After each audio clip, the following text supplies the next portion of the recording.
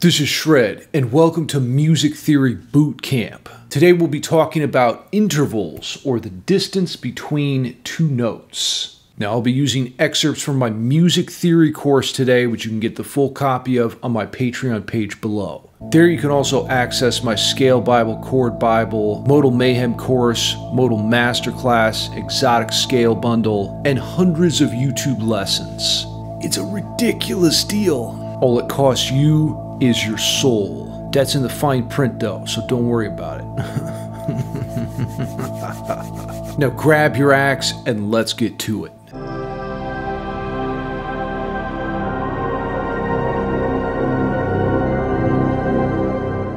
The smallest interval in Western music is the minor second or half step. That'd be a C to a C sharp note.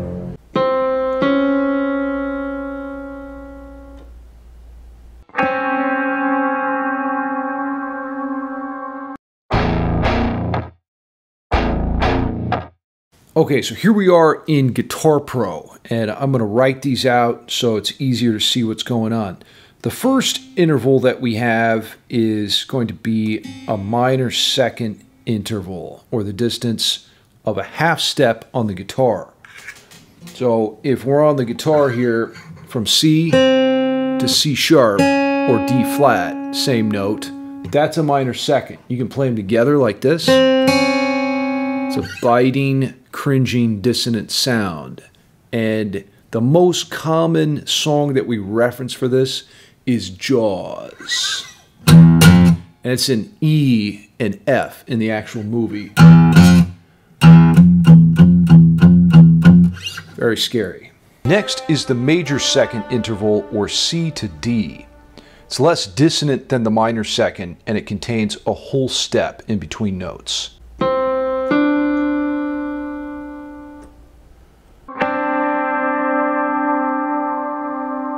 The opening riff in Judas Priest Breaking the Law contains a major second.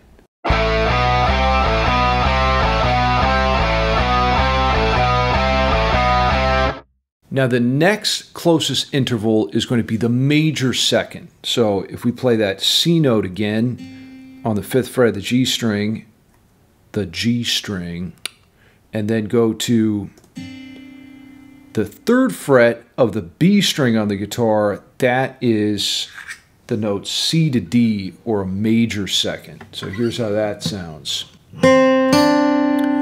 You could do it like this too. I do it on separate strings so you can hear them ring together. If you don't know how to read music, it might be a little confusing, but we've got the tab here too. And another thing my music theory course is going to teach you is how to read music. So Another great reason to check that out. Minor third is three half steps or C to E flat.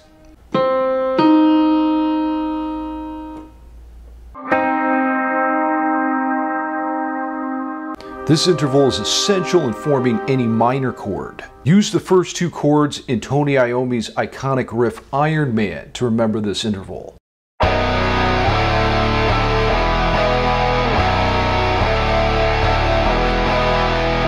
So the next interval, we've got a minor third.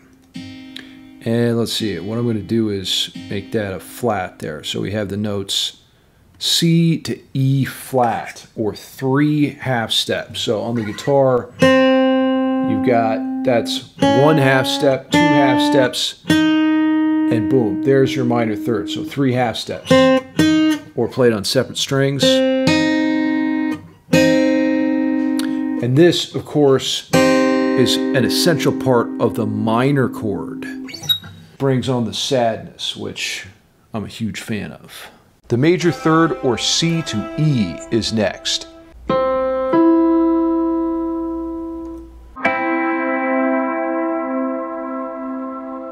It's built with four half steps, and this interval is essential for any major chord. Listen to Iron Maiden's Number of the Beast to hear it in action.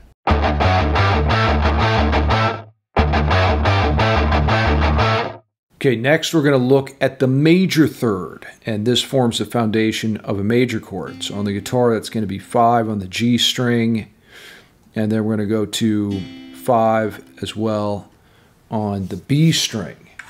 the major third. So here we go. That's how it sounds on the guitar. If you want to play it on the same string, you got one, two, three, four half steps. A lot of doorbells are major thirds. Ding dong. Should be like a major third if it's someone you want to see, and a minor third if it's someone you don't want to see, like Cardi B. Don't let her in. The perfect fourth is next. C to F or five half steps.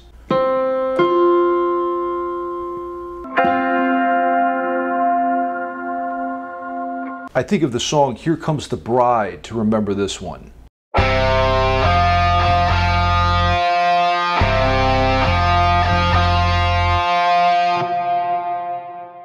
Okay, the next interval after the major third, we're going to go back to our C here, is the perfect fourth.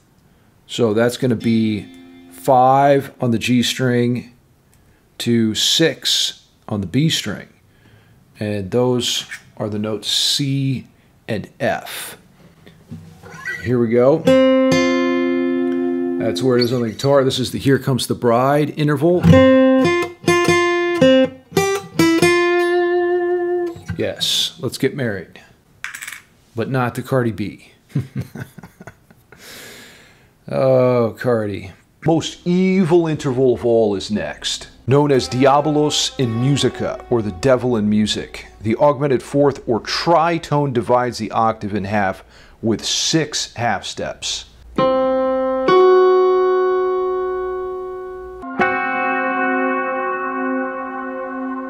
Use Black Sabbath's Black Sabbath to remember the tritone.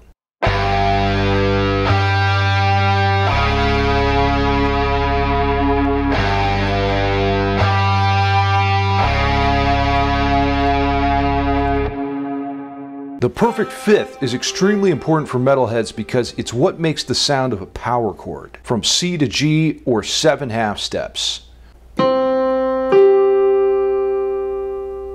Okay, now for one of my favorite intervals, which is of course the tritone or augmented fourth.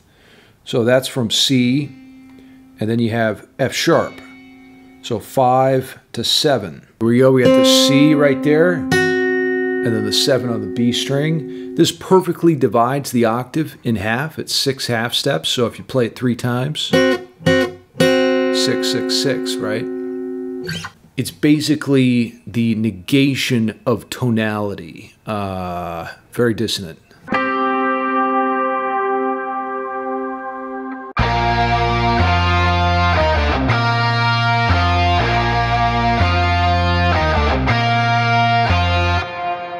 May the fifth be with you. Okay, next interval is the perfect fifth.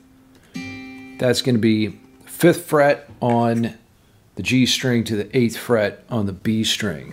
The notes are C and G. Beautiful sound. Fifths are so good for writing songs and melodic lines. It's a very strong interval.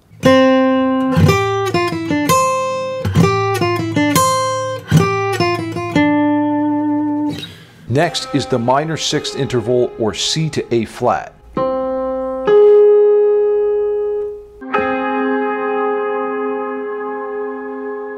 Eight half steps in between notes, and I like to use Ozzy Osbourne's Crazy Train to remember this one.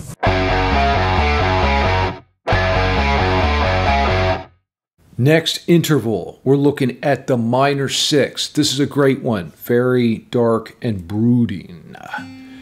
And I'm going to start skipping strings here now.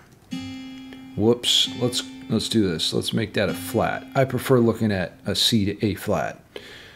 Okay, so on the guitar, we've got our C and then the A flat on the high E string. It's the crazy train interval happens right there, right? Not at the very beginning. I'm playing this in C minor here. The original is F sharp. Right there. That's the part of Crazy Train, that's the minor six. The major sixth is from C to A, or nine half steps.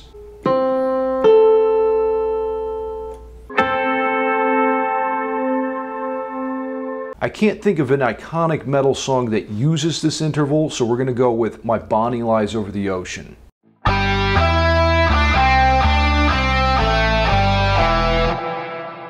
Next interval is the major sixth. I hate this interval. It just, I, I, never seem to be able to find a good use for it. Okay, so we have the note C to A. A stands for ass. I don't know what to tell you, major six. You're just not as cool as the minor six. It is what it is. A minor seventh or C to B flat is 10 half steps.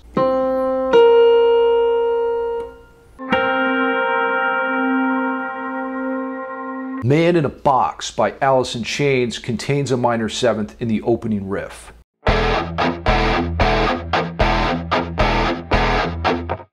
Okay, great interval next. This is the minor seventh. And what I'm going to do is flat this note there. Okay, so we got a C to B flat. I love the kind of, oh man, I don't know how you describe this. It's just like the vacant. It doesn't really have a, a specific uh, statement to make about tonality. It's very ambiguous.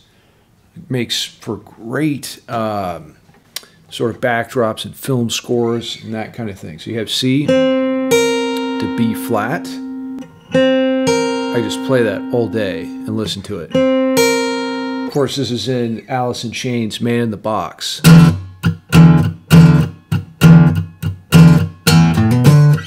The Major seventh is next.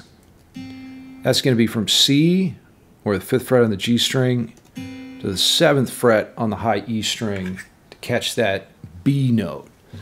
B stands for this is a very dissonant interval. I love how it sounds against, I love using this interval to make chords. Like an A minor 9, for instance.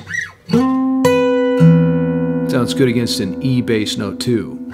Beautiful dissonance. The octave is our final interval, or from C to C. That'd be 12 half steps.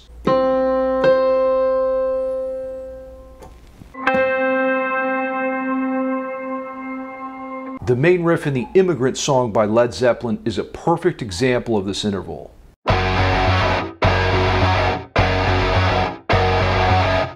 The last interval is the octave, and that's going to be C all the way back to C on the high E string. I see you there, perfect eighth octave. All right, on the guitar, there it is. I use the immigrant song to teach this one, so that's going to be an F sharp.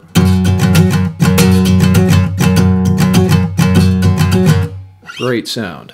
And there you have it, my interval boot camp. This is one of the most important topics to learn about when it comes to music theory, along with things like scales, key signatures, and chords. Now you can get the full tabs for this video at my Patreon page below.